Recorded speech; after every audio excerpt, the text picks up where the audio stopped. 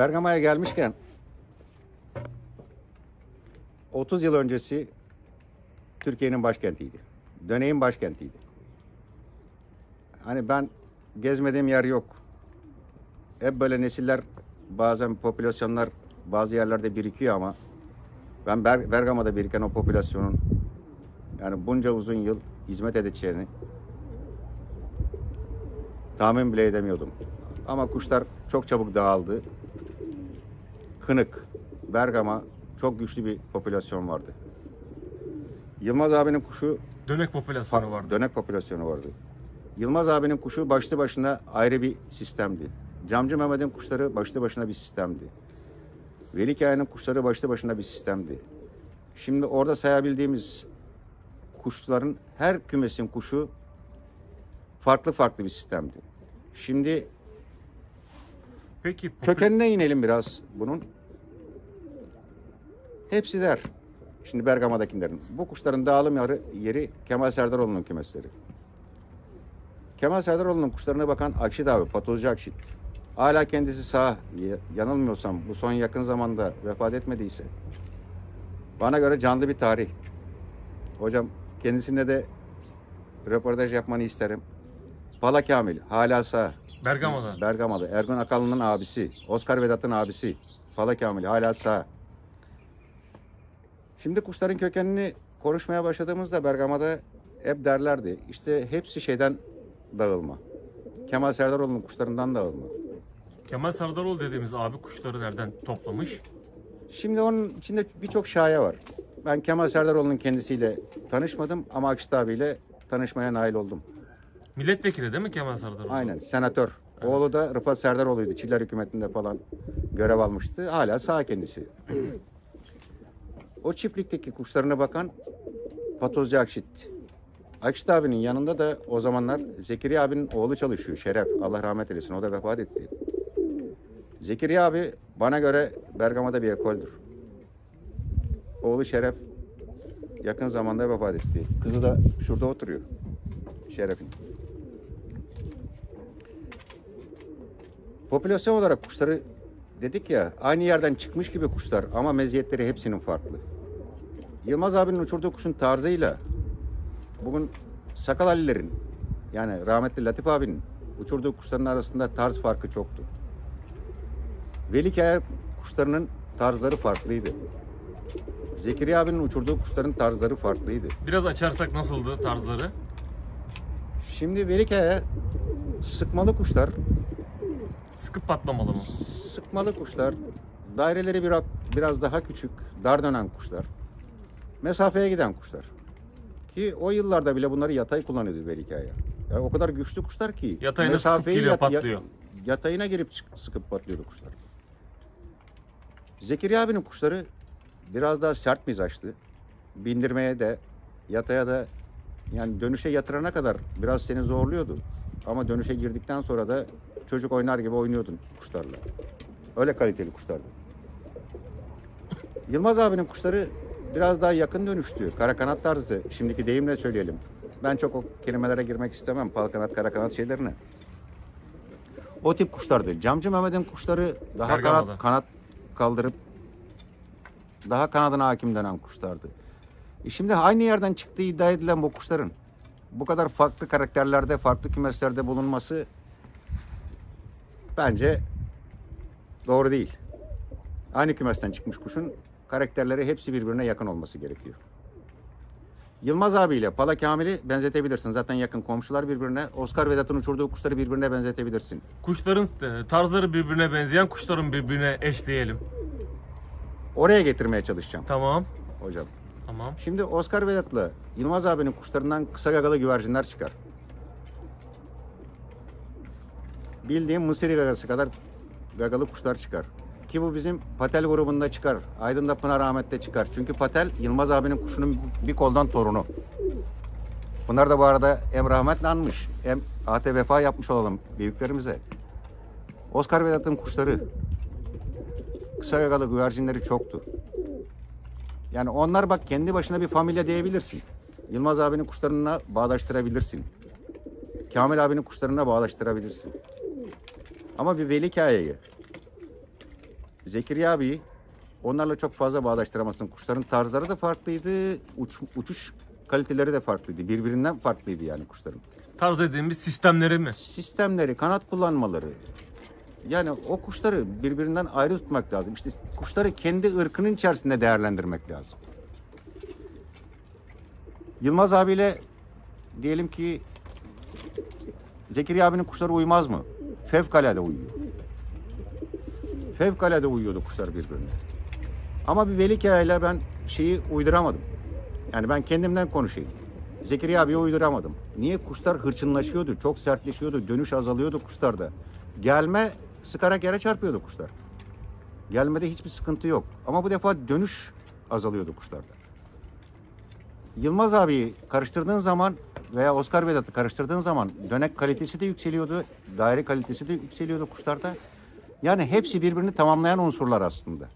Ben e, kahvede oturup çay içerken çok güzel bir e, cümle duydum. Bu da e, bir kural olarak e, yazılması lazım. Çaprazın çaprazı olmaz dedin Ahmet abi. Aynen öyle. Yani aldığın kümesten herkese söylüyoruz. Bir tane daha kuş al. Aynı kuşlardan üret ki çaprazın çaprazını yapma. Şimdi bir yerden bir erkek aldın, bir yerden bir dişi aldın, çapraz yapıyorsun. E aldığın yavruları da birbirine çapraz yapacaksın.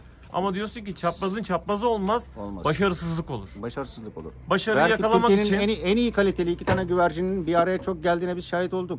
Yani bizden büyüklerimizin, imkanları geniş, geniş olan abilerimizin Türkiye'de ekol olmuş kuşların ikisinin bir araya gelip de altından hiçbir şey gelmediklerini biz gördük. Şimdi isim vermeye gerek yok. Çok büyük dedikleri iki kuşun bir araya gelip de altından hiçbir şey gelmediğini çok gördük. Kan Onun için uyumsuzluğu. bence alınması gereken bir kümese inanıyorsan o kümesin seceresini bileceksin. Alınması gereken kuşun çiftini alacaksın. Yavrularını çaprazda o denemeye girer artık. Yavrularını çaprazda istediğin kadar oyna ama hiç bilinmeyen iki tane güvercini biri Anya'dan biri Konya'dan deriz bir araya getirip de başarıyı beklemek biraz hayalcilik oluyor. Tesadüfe bağlı kalıyor. Şansa bunları bırak- ben kendim de yaşadım. Başarıyı şansa bırakmış oluyorsun o zaman. Aynen öyle. Oranı düşürüyorsun. Oranı düşürüyorsun. Yani güvercin ırkı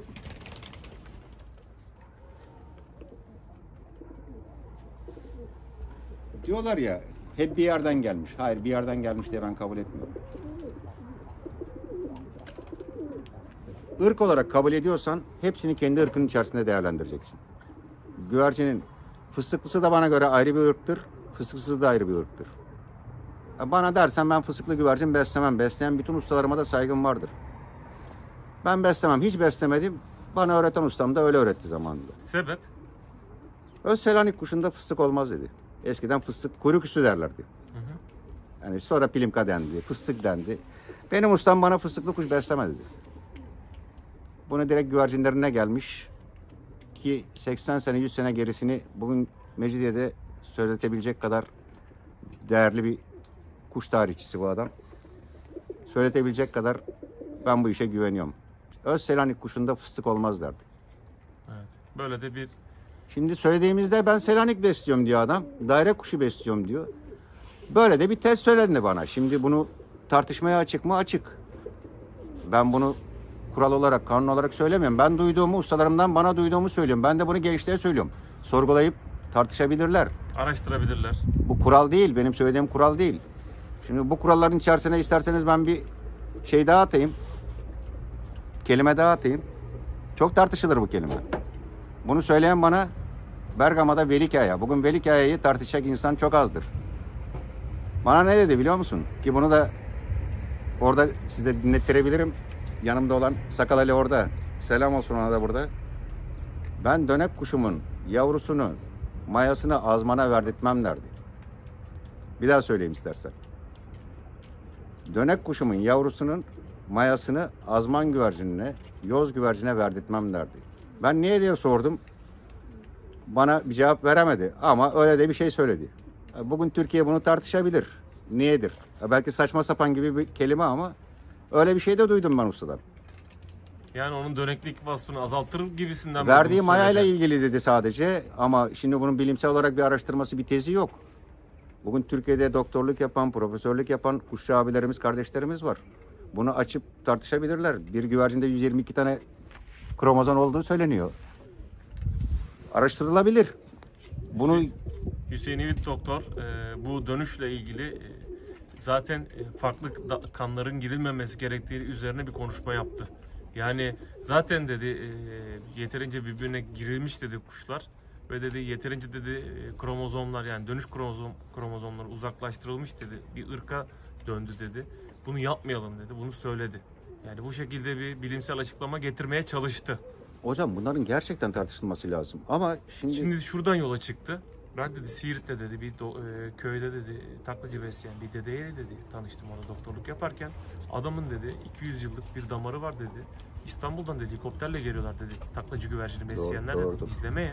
200 yıldır dedi kuş sokmamış dedi dışarıdan. Aynı dedi kana bakıyor. Aynı damara bakıyor ve kuşlar bu yüzden değerli. Adam İstanbul'dan helikopterle kalkıp gelip izlemesi sebebi bu.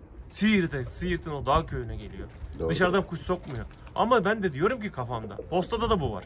Şimdi yarış kazanan bir posta güvercininin amcasının, amca oğlunun, dedesinin bilmem nesine kadar adam sana sayıyor.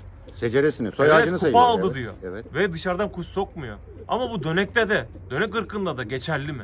Taklacıda geçerli, postada geçerli ama dönekte bu geçerli mi? Böyle düşünüyoruz, bakıyoruz, gidiyoruz. Mesela Göçmen Yaşar dayımın kümesine gittim. Ya diyor ki hocam diyor 50 yıldır aynı kuşlar diyor artık diyor gözsüz, kanatsız çıkmaya başladı diyor. Topal çıkmaya başladı Hocam diyor. or- oraya İç içe getireceğim. girmeye. Yani- Yani, bununla ilgili tecrübelerine dayanarak bir açıklama getirir misin? Senin yorumunu merak ediyorum. Hocam şimdi aynı şeyleri biz de yaşıyoruz. Bu Mecidiye'den edindiğim kuşlar için konuşurken yani bu kuşların 80 yıllık 90 yıllık geriye dönük tarihini söyleyecek insanlar hala hayatta var. Ki benim yaşım 60. Ben o insanı 15 yaşından beri tanıdığımızı, 45 yıldan beri tanıdığımızı söyleyeyim. Bir 45 öncesi de onunla yaşayan insanların o insanın nasıl güvercinlerle memleketinden gelip o güvercinlerin içerisine hiç kanatmadan hatta orada hala da o kuşlara yerli kuşu dediklerini hala söyletebileceğim insanlar var hayatta. O kuşların içerisine hiç kan katılmadan bu kadar uzun süre bir nesli taşıyabilir mi bir hayvan ve taşıdığını gördüm. Bu kuşların kendi içinde kalarak bugüne geldiğinde neyi yaşadım hocam? Kuşlar dönüşleri azaldı, daha geç dönmeye başladı. Sertlikleri çoğaldı diyelim artık. Ama özelliklerinden hiçbir şey kaybetmiyor. O gelmelerinde, uçmalarında, tüylerinde, kalitelerinde yani boyutları biraz bazen milyonlaşıyor, ufalıyor kuşların İç içe girmekten. iç içe girmekten. Şimdi ben aynı kanın bir arada tutulmasından yanayım. Hüseyin Ümit hocamın dediği gibi. Fakat benim ustalarımdan öğrendiğim yumurta ikizini eşitmeyiz derdi biz.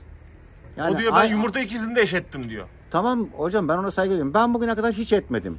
Çünkü benim ustalarım öyle derdi. Yani aynı DNA'dan diyelim artık yani bugünkü ismiyle. Aynı batından çıkmış bir şey, bir şey olarak düşün. Yuva altı, yuva üstü eşlemelere yapabilirsin. Ben de yapıyorum. Bir de Yani şey o dedi. ırkları kendi içinde tutmak Bir için. de şey dedi aldığım yavruları dedi bakıyorum dedi. Eğer dedi dönen yavruyla dönen yavruyu birbirine vuruyorum dedi. Hocam Döneklik şimdi- kromozom sayısını tutturmak için. Ama sonra taşımama gibi durumlarda oluyor. Dönüşü, dönüşü taşımama gibi durumlar. Yani sulandı deriz biz artık. O kan sulandı deriz. Evet. Taşımama gibi durumlar da ortaya çıkıyor. Mesela benim O Mecidiye'den zaman sen dönen nokta- yavruyla dönmeyen yavruyu mu eşetmeye çalıştın? Yani ben genelde yuva altı yuva üstü çaprazlamaya çalışırım. Yani uçuş meziyetine göre Anne, değil anne mi? oğul kesinlikle yapmam. Anne oğul başarılı ben hiç görmedim havaya kalkan güvercin. Biri başarılı olursa birisi çok Dede kötü torun? oluyor. Dede torun baba kız yapabilirim. Yapıyorum. Yumurta ikizi eşetmem. Anne Anne oğul yapmam. anne oğul yapmazsın. Yapmam. Evet. Yani bana ustalarımın söyledikleri bunlar. Bunlar benim sonradan tabii tecrübe edip yaşadığım olaylar. Ustalarımın söylediklerine ben böyle davranmaya başladım ve başarı daha çok geldi. Bakın arkadaşlar pırıltıdan sonra eşleme konusunda Ahmet Ustam değerli bilgilerine, değerli e, tecrübelerine e, vakıf oluyoruz. Bunları da kayıt altına alıyoruz. Bundan 30 sene sonra, 100 sene sonra dahi bunlar açılacak ve dinlenecek. Şu anki değerinden değer katacak bu videolar. E, ustam burada konuşturuyoruz. Kilometrelerce yol geldik. E, ustam bir ara verelim. Bir sigara Ee, içelim. Evet bir ara verelim. Ee, sonra e, devam edelim. Daha Aydın'a geleceğiz. İzmir'e geleceğiz. Daha Ayvalık yapmadık. Aynen. Yani ustamla muhabbet devam. Üçüncü bölümde e, Ahmet abinin salmasına geldik. Evet Ahmet abi. Kuşları tanıtacak olursak şurada bir çakal gözüme çarptı. Şu çakaldan bir başlayalım. İkisini çekeyim ben.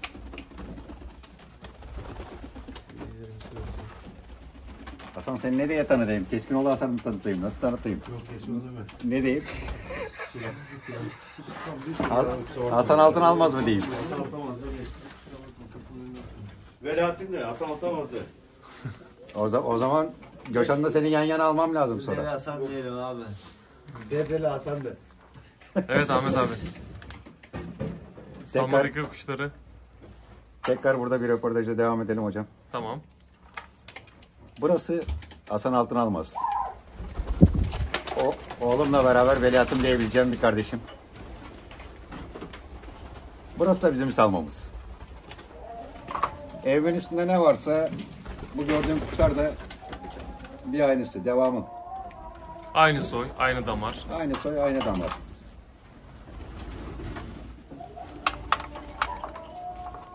Neslini devam ettirmek için biz bölüştük, paylaştık. Bir şekilde bunların neslini devam ettirmeye çalışıyoruz.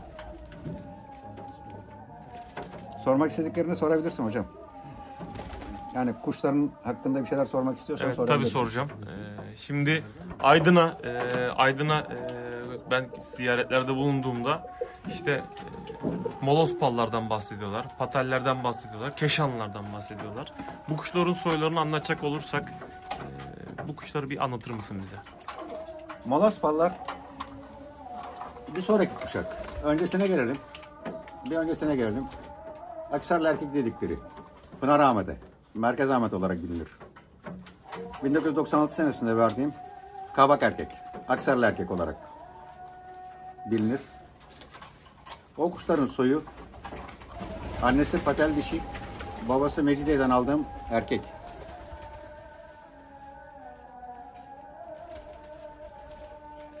Rahmetli Atçalı Mehmet amcayla beraber gelip aldıkları erkek Aydın'a verdiğim ilk güvercin. Nasıl bir güvercin derse o güvercinin havaya kalkıp boş indiğini hiç kimse görmedi bende. Kaç hava, kaç pırıltı, hiç boş indiğini kimse görmedi o güvercinin. Sıkıp gelmesini bilmeyen, döndüğünde de yanlış dönen, yamuk dönen bir güvercin hiç olmadı. Ben zaten o ırklarda hiç böyle arızalı marızalı kuş görmedim. Ahmet bu kuşu aldı. İşte elindeki atçalı, altın diş Hasan, parça kanat dişi. Onlarla çalıştı. İşte molos fallar dedikleri kuşların serisi bunlar. Açılı Mehmet amcayla e, bir kuş seyretmeye gelmiş yanınıza. Onunla ilgili bir anınız vardı. Onu bir anlatır mısınız? Atçalı Mehmet amcayla bizim anamız çok. Bir tanesini anlatayım. Kefen parası muhabbetini anlatayım istersen hocam. Hem bunun içerisinde biraz makara var. Birileri başkasının üstünden anlattı bu muhabbeti piyasada. Biz hep sustuk. İsim vermeye gerek yok. O zamanlar bende bir kırmızı erkek dönüyor. Aksarlı erkeği aldıklarında Mehmet amca, Atçalı Mehmet amca dedi ki bana Ahmet bir daha geldiğimde bu erkeği alacağım senden. Olur amca dedim istersen şimdi al götür. Aradan bir ay iki ay gibi bir zaman geçti. İkinci geldiklerinde Aksarlı erkeğin bir erkek kardeşi dönüyor bende. İlk olarak onu havaya attım. Bir pırıltı attım kuşa. Bu kuşu Nurullah'tan da Mehmet Şah'ın kardeşinden de dinleyebilirsiniz. Sazlı erkek. Tuttu Pınar Ahmet'in elinden Ahmet'in benim gördüğümü sen de gördün mü? Ahmet'in benim gördüğümü sen de gördün mü dedi. Ben amca dur kırmızı erkeği uçuracağım sana derken bana dedi başka kuş atma havaya. Ben bu kuşu alacağım. Cüzdanından çıkarıp 200 mark para attı. Rahmetli ondan sonra kuşağının içerisinden 400 mark mark daha para çıkardı. Dedi ki al bunlar benim şeyden Almanya'dan getirdiğim kefen param. Kefen parası muhabbeti bu muhabbet. Bunun şahidi Pınar Ahmet. Sen öyle bizim bir espri, aramızda öyle bir espri kaldı. Ee, bir daha gideceğim ona bir daha e, kamerayı açacağım. İstersen açala Mehmet amcadan sonra asker Mehmet'te de bir anımı anlatayım. Demirci Hasan abi bizim. Çok sevdiğimiz bir abimizdir. Bana bir gün telefonda dedi ki Ahmet öğretmen Mehmet geliyormuş senin yanına. Dedim geliyor abi. Dedi bu adamın dedi Türkiye'de dönek uçurup da parasını alan hiçbir insan yok dedi şu ana kadar. Ya bu neyi gösteriyor? Bizim öğretmen Mehmet'in çok seçici olduğunu gösteriyor. Dedim Hasan abi ben ondan 200 lira aldım dedim. Onu dedim çerçeve ettim. De dedim harcamıyorum. Koleksiyonuma koydum dedim. Pes dedi sen de çalından sonra dedi asker Mehmet'in parasını aldın mı? O Aksar grubundan Pınar Ahmet'e verdiğim kuşların grubundan bir dişi verdim o zaman ona. Ama yağmur, yağmurlu bir havadaydı. Bizim asker Mehmet'le, öğretmen Mehmet'le böyle de bir güzel anımız var yani. Böyle takılırız birbirimize zaman gibi. Böyle güzel dostlukları biz o günden bugüne yaşatmaya, hala da yaşamaya devam ediyoruz. Bunun içerisine menfaati hiçbir zaman için sokmadık. Güvercini hiçbir zaman insanların önüne koymadık. İşte bugünün şartları malum ortam herkes birbirinden nasıl bir güvercin elde ederim diye 50 tane takla atıyor hocam. Evin üstündeki yaptığımız röportajda da dedim ya süte su karıştı. Maalesef işte bu hem insan ilişkilerin içerisine karıştı hem dönek camiasına karıştı. Biz bunları bir sonraki kuşaklara taşımak için korumaya çalıştık. Zaman geldi. Kuşlarımız çalındı. Kesintiye uğradık. Onda bir daha o kuşlardan hayatta olmaz dediler. İyi kötü bugün şahidimsin. Bir şeyler uçurmaya çalışıyoruz gene. Gene bu camiye hizmet etmeye çalışıyoruz. Etmeye de devam edeceğiz. Merak bu, sevda bu. Benim sevdam bu. Yani ben döneyi hakikaten önce meram için seviyorum. Trakya'ya gittin. Edirne'den, Keşan'dan yine kendi kuşlarını aldın geldin değil mi? Geriye getirdiğim kuşlar zaten keşanlı dediğimiz. Şimdi Ondan bahsettim. Aydın, Aydın'da konuşulan Keşanlı dedikleri güvercinler. Benim yıllar önce oraya verip 15 sene kapalı kalıp oradan getirdiğim kuşlardan direkt Pınar Ahmet'e verdiğim güvercin. Kendi kümesime koymadan onun kümesine verdiğim güvercin. İnsanlar hakikati duymak istiyorsa gerçek yerden dinleyecek. Öyle Keşanlı deyip de bir kuşun hakkını yemeyecek. Bugün Aydın'da konuşulan Keşanlı dedikleri güvercinler 15 yıl boyunca Harım Komanlı dediğimiz arkadaşın kümesinde koruduğu Nazif Taşkın sudan aldığı kuşlardır. Ama kimse kimsenin hakkını yemesin. Bence gerçek olan bu. Gerçekleri konuşacağız. İyisiyle kötüsüyle. Bozuğu da bizim, döneni de bizim. Ne mutlu yani bu ırkları bir sonraki nesillere koruyarak verebilmek. Şimdi artık ticarete döndüğü için insanlar herkes birbirinden aldığını saklamaya, gizlemeye çalışıyor. Sen zaman zaman röportajlarını izliyorum hocam. Diyorsun ki şimdi mesafe yapan kuşlara Makedonlar mı karıştı? Evet karıştı. Şu andaki topkavari dediğimiz kuşların içerisinin hepsine Makedonlar karıştı. Tarzları farklı. Kuşların tutuşları zaten Makedon tarzı. Artık bu kuşların içerisinde daire aramaya kalkarsak daire zaten mümkün değil göremeyiz. Hepsi topka. Eskiden uzun dönen kuş var mıydı diye sorular soruyorsun. Evet vardı. Pınar Ahmet'in uçurduğu tarçın erkeğin mesafesini bugün yapan kaç tane güvercin var? Tepecikli İsmail'in uçurduğu kırmızı erkeğin mesafesini kaç tane güvercin yapıyor piyasada? Öyle derli toplu. Tarzının güzeli. Kırmızı eksik güvercin. Ama onun babası tam güvercin diyor. Tarçın erkek. Bugün Pınar Ahmet öyle bir güvercin piyasada kendisi de uçuramaz. Piyasada öyle bir güvercin uçmaz. Ben de dahil olmak üzere. Onlar istisna kuşlardır. Varsa öyle bir kardeşim de gidelim hep beraber seyredelim. O mesafeyi yapıp o daireyle gidecek kaç tane güvercin vardı acaba? Hocam sormak istediklerini sorabilirsin. Peki e, koruduğunuz Koruduk diyorsunuz. Peki öyle kuşlar daha çıkmadı mı bir daha? Hocam çıkıyor. Ama yaşaması çok zor. Hastalıklardan, şahinlerden, inandığımız insanlara vermekten biz elimizde dönek güvercin tutamıyoruz. Evet Ahmet Ustam. Başta çatıda, sonra bahçede, sonra salmadaydık. Şimdi de e, son olarak Dönük Güvercin camiasına hem e, bir temenni babında e, bir konuşma yapalım. Hem de bu ırkın güzelliğini ve bu ırkın önemini anlatan böyle bir kapanış konuşması istiyorum sizden. Derken hocam? Biraz önce söylediğimiz gibi Şimdi hocam, madem ki ırktan bahsedeceğiz, ben paçasız güvercin besliyorum. Paçada da paçasızı birbirinden ayırt etmemiz gerekiyorsa, önce paçasız güvercinin ne olduğunu bilmek lazım. Bu ülkeye kaç yılında girdiğini konuşmak lazım. Makedonya'dan gelen Topkan'ın kimlerin beslediğini, kimlerin beslemediğini, Paçasız güvercinin hala Sırbistan'da, Hırvatistan'da, Makedonya'da Türk gücü olarak değerlendirdiğinin farkına varmamız lazım. Yani biz elimizdeki bir değerin, bir kıymetin farkına varmamız lazım. Paçasız güvercini bugün gidip bir Sırbın elinden almaya kalkarsan sen Türk musun der. Hırvat'a sorarsan Türk kuşu der. Yunanlı'ya sorarsan o da Türk kuşu der. Biz hala bunların içerisinde bir Hırvat'ı, bir Yunanlı'yı, bir bilmem neyi karıştırmaya mı çalışmaya, çalışmalıyız? Yoksa kendi ırkımızı mı korumaya çalışmalıyız?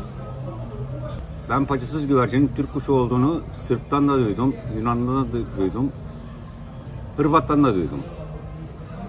Aksini iddia eden varsa gideriz, konuşuruz. ve buradan e, ırkın korunmasına dair Ben elimden gelen bilgimi, birikimimi her türlü paylaşmaya hazırım. Ama yeter ki süte su karıştırmamaya çalışan arkadaşlarım, kardeşlerim, ustalarım olsun. teşekkür ederiz. Yardımcı olmaya çalışmazsam o zaman gelsinler bana desinler ki ya usta sen de bizi yanlış değerlendirdin. Çok teşekkür ederiz ee, bu güzel dilekleriniz için, düşünceleriniz için. Bir dahaki sohbette görüşmek üzere diyoruz. Hocam bunun içerisine adını andığım, anamadığım aslında Deniz'den, Sarayköy'den kardeşlerim, ustalarım, Defansiyelci Mehmet, Şenol, kardeşim olarak Mehmet Ali, Murat, Deniz'den Yıldıray. Bu kardeşlerimin de adını anamadığım için kusura bakmasınlar artık. Bir dahaki videoda görüşmek üzere diyelim. Aydınları da söyle şimdi yoksa onlar da e, gönül Va- koyarlar. Vallahi koyarlar. Şevket olsun. Süleyman Civan. Son yılların yetiştirdiği en büyük civan. Kardeşim benim. İzmir'den e, bahsedecektik. İzmir'den bahsedelim. Mümin kardeşim. Kazım kardeşim, Emrah kardeşim, Mustafa kardeşim yanımda. Göster kardeşlerimi de göster. Bana çıraklarını göstermiyorsan böyle. Veliahtım, Hasan, oğlum Göşen.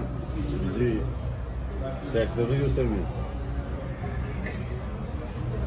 Sor hocam sor devam et. Daha bir, bir iki soru daha var bunun içinde, içerisinde. Yok yok burada bitirelim. E, Neyse bir sonraki videoda görüşmek üzere. Evet. İyi